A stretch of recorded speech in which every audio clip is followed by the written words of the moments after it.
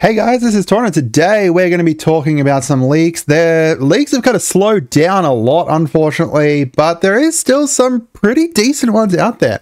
Um, before we get into it, I want to ask you guys if you can, feel free to subscribe. You know, we've got a whole bunch of people watching, but not as many subscribers. I would love to hit 3,000 subscribers. That's our kind of next goal. We hit 2,000, and thank you so much for everyone for doing that. We kind of smashed past it, which is really, really awesome.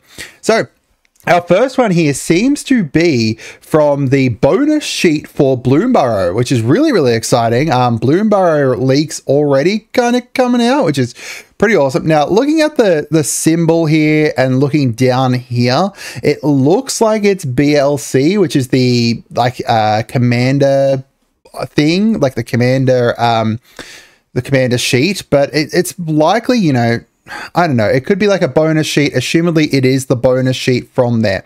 Now, this one here comes to us because they showed these little pins that are like AR, uh, and you can like, you know, hook up with AR with them and scan them and stuff. And then they showed this card that popped up there. Now, this was accidental. Obviously, they didn't mean to show it because then they removed the video. However, it looks like we're going to get furry versions of a lot of the planeswalkers. Um, like a uh, for you know with Bloomburrow. So uh, this is Jace the Mind Sculptor, obviously a reprint, but re kind of branded. Uh, this is probably like a full art version of it, and then there'll be like a normal version because we have seen an art for Jace prior to this, um, and this one here just seems to be like a uh, you know an anime art style. I don't know. Um, Bloomburrow looks like it's going to have some amazing stuff. I am so excited for Bloomburrow. Um, but, you know, Modern Horizons before that, Assassin's Creed before that. Uh, so this is, you know, moving on to Modern Horizons 3. This one here was Wheel of Potential.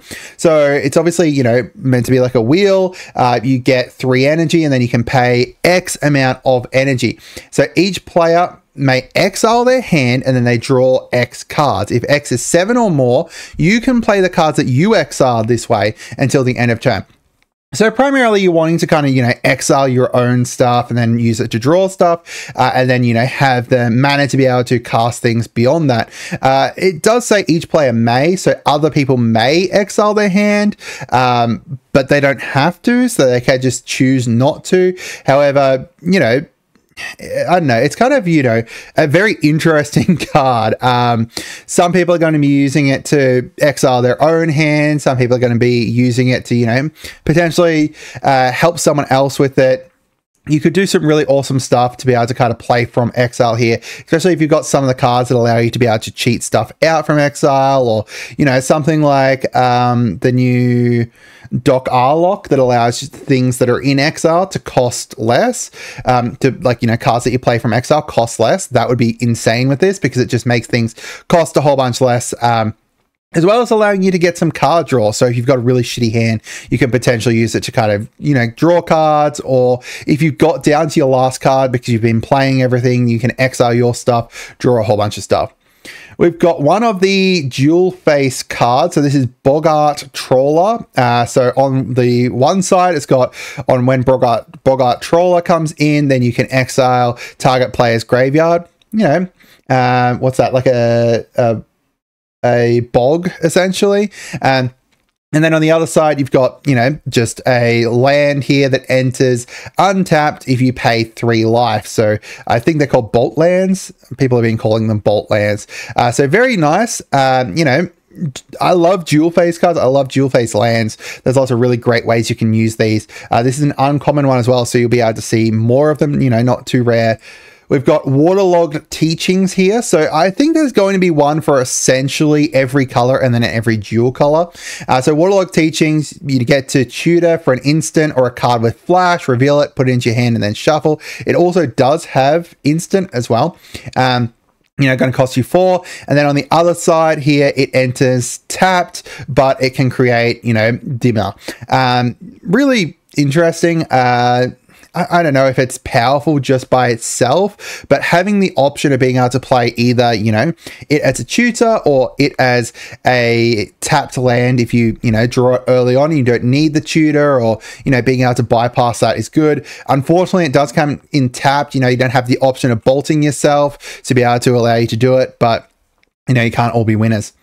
We've got Sunk in Stupor here, and then Soporic, Sop soporific, soporific. I think that's it. Springs. Uh, so on the left hand side, it's uh, essentially kind of like a counter spell, return target spell, or non land permanent an opponent controls to its owner's hand. So you know you can counter something. It doesn't count it really. It just returns it to their hand. But also. Um, you know, you have the option of there of removing something that's on the field as well, removing that to the hand too, uh, to be able to bounce something back. Uh, only opponents though, unfortunately, you can't, you know, bounce your own stuff with it.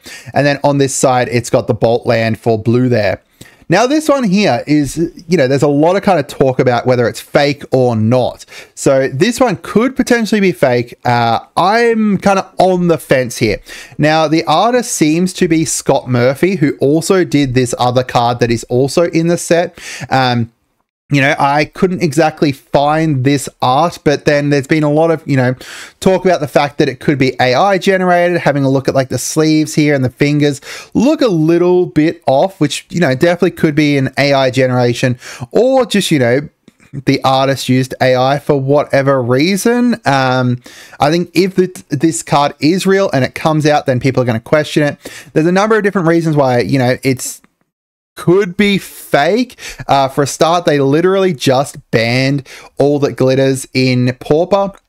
And this seems to be, you know, very similar. It gets plus one, plus one for each energy counter you have. So there's a few different reasons that why it could be fake. You know, the fact that that just got banned, but you know, they did. Uh, Gavin did mention there was a card coming out that could potentially see a ban uh, from, you know, for Pauper as if it comes out and you know it's a bit too strong, very quickly banned. Uh, but it's a energy card that doesn't generate energy. It's got Umbra armor on it. Now, Umbra armor alone is not saying that it is, you know, fake. Uh, Umbra armor is what they renamed Totem armor to. Totem armor got scrapped. Umbra armor instead. Uh, something about, you know, cultural sensitivities and stuff like that. Whether you agree with it or not, that's not what we're debating here. Um, but, you know, the fact that it is not an an Umbra, um, you know, usually I think that nearly every single, yeah, sorry, every single aura that is an Umbra is labeled, uh, sorry, and like a totem armor, Umbra armor is labeled as an Umbra up here and is themed around an animal. But there is one exception, which is one of the planeswalkers generate mask tokens, um, and then they have totem armor built into them, which is the only exception to that. So, you know, it could be real, it could not be that's not up for me to decide. Uh, I just wanted to kind of share it with you guys in case you have some ideas. We also got Flare of Fortitude here, which is you may sacrifice a non-token white creature rather than pay this spell's mana cost, and then until end of your turn, your life total can't change, and permanents you control gain hexproof and indestructible. Now, for um, Commander, this is going to be a pretty bonkers card. Um, you know, you could sacrifice, you know, white and black uh, is all about aristocrats and stuff. Uh, you've got so much kind of, you know, in that Orzhov colors around aristocrats and sacrificing your own stuff anyway, uh, and, you know, sacrificing non token stuff. So you, this is going to be really strong in that, in my opinion. It's essentially, you know, allows you to keep your stuff alive, um, but also stops your life total from being able to be changed. Now, I'm not going to claim that I play much modern. Um, but from what I've heard, uh, people have said that this isn't going to be too bad in modern. You know, there's a bit of a debate actually. Some people said it's going to be trash and there's, you know, a commander aimed card. Some people are saying that it's not going to be too bad. What do you guys think? If you play modern, let me know. Uh, and then our final one here is Eladamri Korvek, Korvecdal. I am butchering that and I apologize. So, um, Obviously, you know, this is the first kind of reprint, well, not reprint, new card that Eladamri's had in ages, I think. I don't think there's been one for quite a while. Um, now, this is a very, very interesting card. You may look at the top card of your library at any time and you can cast creatures from the top of your library. That, in my opinion, is the strong part about this, being able to cast creatures from the top of your library. Now, the second part here isn't quite as strong, but it's still going to be a useful card. You pay green, tap, and then you can tap to untapped creatures you control, reveal a card from your hand or the top of your library to put a creature, if it's a creature card that you reveal, put it onto the, uh, onto the battlefield. Now, uh, you can only activate it once per turn, but that is a decently strong part of it and a very interesting. Like, you know, as a strong kind of commander, I think that that's pretty good. Uh, it doesn't have to be like a, a non-token creatures you tap either. So something like my my Voja deck, this would be bonkers in my Voja deck. This is going to go straight into my bonkers deck, uh, into my Voja deck. Now, um, couple interesting things. As I said, very strong. I think it'd be a decent commander. Um, but, but, but, but, with the like storyline and everything like that, Eladamri's had a lot of kind of tie-ins with Yorg Yawgmoth, Yawgmoth. Um, and there's been a lot of people talking about the fact that there could potentially be a Yawgmoth card, Yawgmoth, yeah, uh, card coming in this set, right? His actual like god card, him at the the height of his power kind of thing.